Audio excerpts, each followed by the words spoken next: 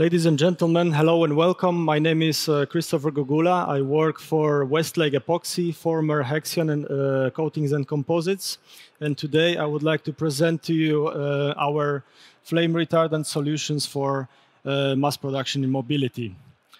And uh, I think it goes without saying that uh, all kind of mobility applications is where the flame retardancy is basically essential. You cannot go without it. And while you can find uh, individual material or material classes that are exceptional in terms of either flame retardancy or mechanical performance, when you want a combination of flame retardancy, performance, uh, design flexibility, and even corrosion resistance, composites is really the way to go. So with that said, Westlake Epoxy has a broad portfolio and we um, have several, basically several material groups, and that is phenolic resins. This is the basic, uh, let's say, golden standard in flame retardancy for composite or, or um, duroplastic applications.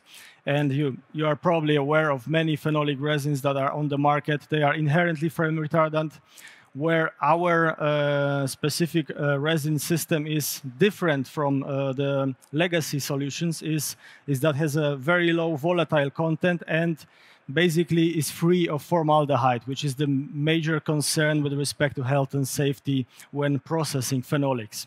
Next up, if you prefer epoxy resins or if you need the very best performance or surface quality, we also uh, have liquid resins which contain liquid flame retardants and therefore are really easy to process in typical composite applications. They are characterized also by long work life, so can be processed by hand as well. And uh, they typically have the best surface quality of them all. And if you want kind of the best of both worlds, being the very good flame retardancy and still uh, very good uh, mechanical performance, we also have uh, filled systems. And um, they have the uh, ability to, let's say, project the standard um, performance of the epoxy resins while still having um, properties like high TG and potentially high reactivity. These are then compatible with several processes like liquid composite molding, filament winding, and also pre-preg. Uh, if we think about where or what kind of processes you would use these resins or where you would use them in the application, phenolics cover uh, broad they are not fields, so you can use them basically with most uh, most composite applications being uh, pre-preg, the typical um, usage, but you can also pull through them uh, in a fast cure uh, system or use RTM, LCM. Also, we have SMC possibility here for this uh, flexibility of forming. And uh, when we go to the, to the epoxy resins, the liquid resins are typical for infusion, hard, hand layup, RTM, and so on. And the filled epoxy resins can also be processed, processed with uh, liquid composite molding, filament winding, but also processes, simple processes like hand layup. And we position our systems with respective to the markets. For automotive market, we would uh, recommend our new phenolics, our filled epoxy resins. And for aeronautic and marine systems, these are typically uh, liquid epoxy or phenolic and uh, that also depends on the process that you would like to use. So starting with uh, aeronautic and marine uh, applications, uh, Westlake Epoxy has a broad portfolio of resins. You probably all touched touched a Westlake Epoxy resin when you are flying in a in a plane. Most of the interior is covered with either phenolic resins or um, brominated or, or halogenated um, epoxy resins. When, however, I would like to uh, turn your attention to our uh, RTM or infusion system, which is the Epon FlameX 9630, and I would like to present it to you in more detail. The first benefit is it's already a qualified system in aerospace, mainly uh, for uh, helicopter seats and also some other applications, but uh, it has a very broad um, processing flexibility in that you can use hand layup because you have a long uh, work life with a liquid system. Uh, it doesn't contain any uh, toxic, acutely toxic or volatile components, so there is no uh, need for special EHS uh, procedures. And uh, you also get high or, or, long, long injection window, long viscosity, meaning it's very good to, to use it in infusion at very low or moderate temperatures. Infusion like 40 degrees C is not a problem. And last but not least, um, because you can build up the green strength of the resin system quite fast, you can use it in uh, RTM uh, molding for best surface quality and then uh, with a post-curing. So this resin is uh, qualified in aerospace and it fulfills the norm, the norms uh, typical there, like uh, FARJAR CS uh, 12853, which is basically a vertical burn and also toxicity tests, and the corresponding Boeing standard, as well as the UL94 vertical burn, where it can achieve a V0 classification at a minimum of 4 millimeters. And the achievable TG in this case would be around 90 to 100 degrees Celsius the, when it's fully cured. Um, for marine applications or for general composite or industrial applications, we also have a dedicated system called Epon Flamix 5546 and it's also qualified uh, for lifeboats, where you have the special set of norms, uh, mainly from the International Maritime Organization.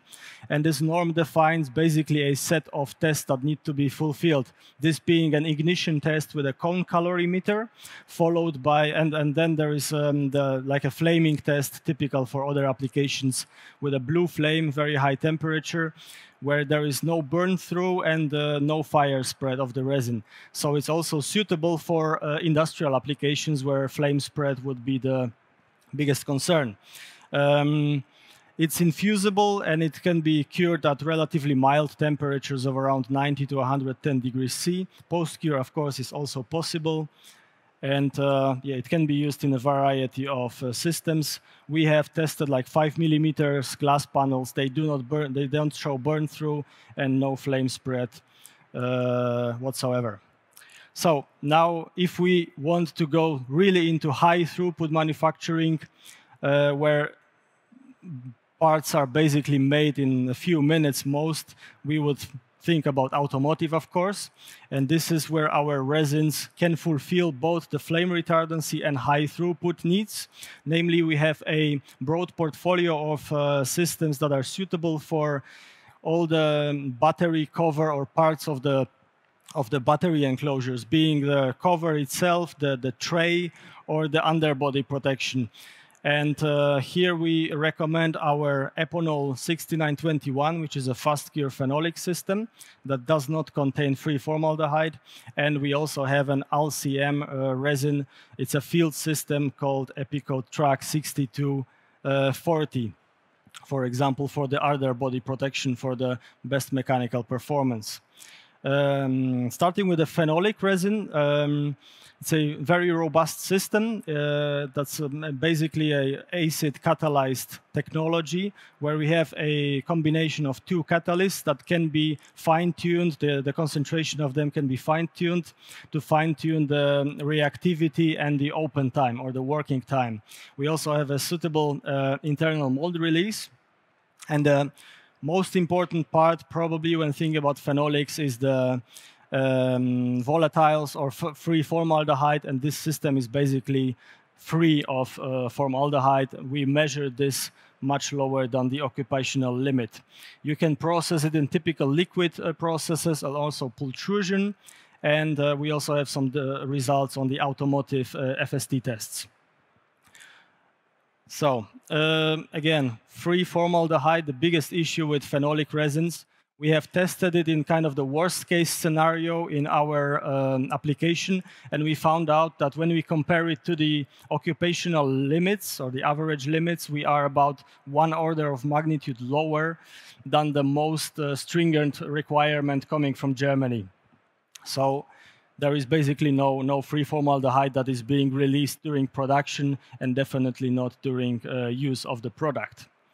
Now, um, to compare the phenolic, our phenolic resin with like incumbent material, we have devised a test method where we use standard aluminum, the, the, the first or the legacy uh, technology, and uh, epox, uh, sorry, um, ATH filled polyester, and we made a burn test with a with a burner at 1,400 degrees Celsius, and we noted that uh, the legacy technology, be it aluminum or um, ATH polyester, they basically can survive about two minutes of this uh, of this um, flaming, whereas the phenolics can stand withstand more than 10 minutes, and uh, the, we just st stopped the test at this point because there was no burn through and um, the mechanical performance was there. Now, if you think about uh, actual use case where you might have, might have also issues with abrasion during driving, the second protocol, the protocol B, we implemented the same procedure but with an intermittent sandblasting of the uh, flamed surface. And then we noticed that uh, aluminum cannot really uh, cope well with sandblasting combined with temperature. ATH polyester a little bit better, but the phenolic can basically outperform these in every single aspect and it's basically can survive three times as much punishment as the incumbent materials. And you can achieve this at a relatively low thickness to save the cost around two to three millimeter. And also uh, we have um, uh, confirmation that the material will um, fulfill the norms required by automotive, being the bonfire test or the UL 2596 or the thermal runaway test. Um, at these thicknesses, there is no problem um, fulfilling these requirements. Now, when we move to, you may be swayed from phenolics, or you may prefer to use epoxy systems, or you need more mechanical performance. We have a filled system that we um, position for, like, for example, the underbody of the electric battery. And here we would recommend, or we recommend to use, for example, liquid composite molding. Uh, it's still relatively simple to, to make big parts with it, and you don't have a long um, injection or, or, long travel paths for the resin. So you can either make it in the form itself or prepare the stack and the liquid resin and then transfer it into the form. Um, the liquid system contains solid flame retardants, so we had to kind of find the golden middle between the reactivity, the viscosity, and the performance. And we found out that uh, with a certain mixture, we are able to obtain very high quality composites, also very good surface quality. And you can see on the SEM picture on the lower left that it's we are even able to infiltrate the individual fiber filaments with the flame retardants.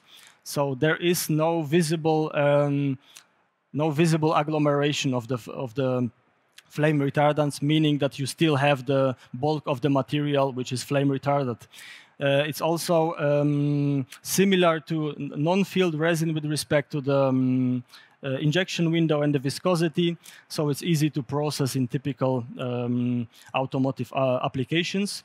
And last and foremost, you are able to make relatively thick samples. Did 8 millimeter uh, panels that showed very good performance, very good surface quality, and no, no um, dry spots or, or filtration. Um, this system is based on our incumbent uh, non-flame retardant fast cure system, which is the Epikote TRAC 6170. And we compared both the non-flame retardant and the flame retardant uh, to see how the performance stacks up. And we basically saw that um, most of the performance parameters are the same or within the measurement error. There might be minimal differences in like flexural strength or ILSS.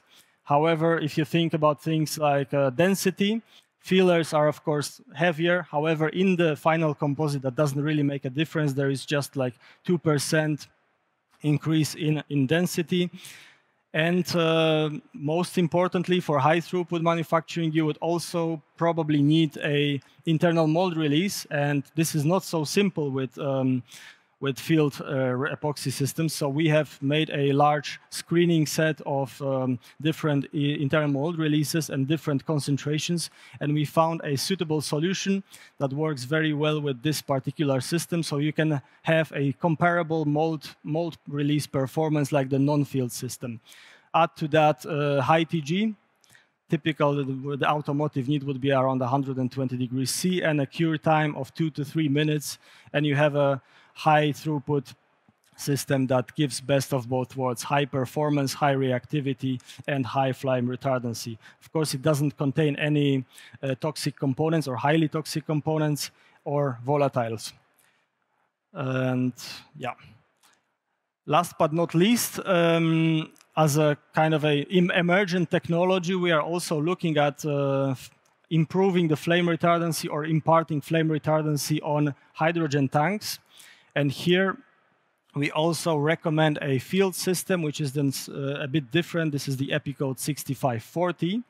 And uh, the idea behind it is that you can use it with normal um, curing or with the same curing agent you would use for curing the uh, full tank, so you don't need to do a second step processing. You could, for example, coat your uh, or prepare your carbon layer for the mechanical performance and overcoat it with glass or or um, or carbon fiber filled uh, with, with um, impregnated with the filled epoxy resin to impart increased uh, flame retardancy. And that's all based on the R134 norm which requires a degree of flame retardancy for the hydrogen tanks. And the way we tested it so far is uh, we took a small or a um, thin um, flame retardant resin um, panel with glass, and we just uh, flamed it at 1000 degrees C for around 15 to 30 minutes, and we saw that already at this thickness you can uh, limit the, the temperature that's reaching the carbon layer to below 400 degrees Celsius. Now, the, the system, of course, is low viscosity and can be processed in a long, it has a long open time, so there is no issue with um, premature gelation and um, or the reactivity. We have suitable um, curing agents, be it amine or anhydride, and they work very well. Okay, and um, yeah, we also tested the UL94, and it's basically at the typical um, thickness you would get the vertical burn and the V0 um, quality. So um, to sum the portfolio up, whether you are looking for phenolics or epoxy resins, uh, we have a kind of a overview of the performance. So if you would like to have the very best um, flame retardant portfolio, or flame retardant performance, but are able to um, maybe make some some uh, concessions on the mechanical performance and so on, then you definitely can go with the phenolic resin, which is now more benign with respect to health and safety. If you want the very best um, mechanical performance with the added benefit of flame retardancy, uh, you would probably want to go with a liquid epoxy resin. And if you want kind of the best of the both worlds, so good flame retardancy and still good mechanical performance, we recommend the filled epoxy resins for your use.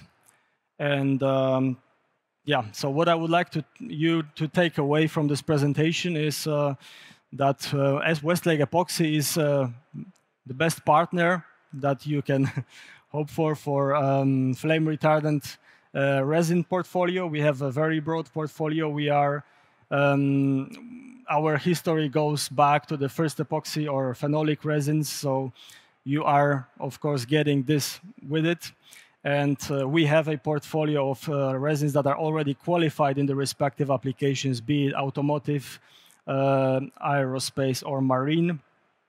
And we also have a solutions that can help you impart flame retardancy in other sectors like um, industrials or uh, hydrogen tanks. And with all that, I would like to invite you to our booth, which is just down the aisle, the G62. Uh, if you have more questions, uh, I will also be available at the speaker uh, area. And we have a few um, samples um, of flame retardant composites here with us. You are more than welcome to take a look or have discussions with our experts. And uh, with that said, thank you very much for your attention. And I think we have time for a question or two.